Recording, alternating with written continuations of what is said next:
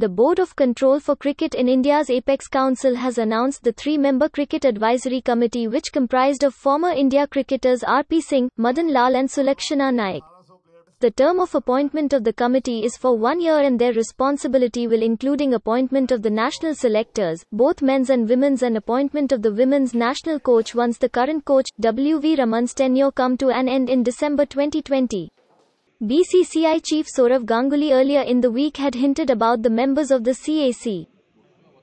Sulakshana Naik. Sulakshana Naik is there. Madan Lal? Uh, Madan Lal is there. Gautam, yes, I'll tell you the other. Gautam is.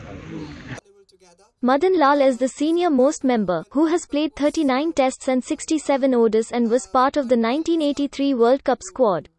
RP Singh is the youngest in the team, who has played 14 tests, 58 ODIs and 10 T20s and was part of the 2007 T20 World Cup squad.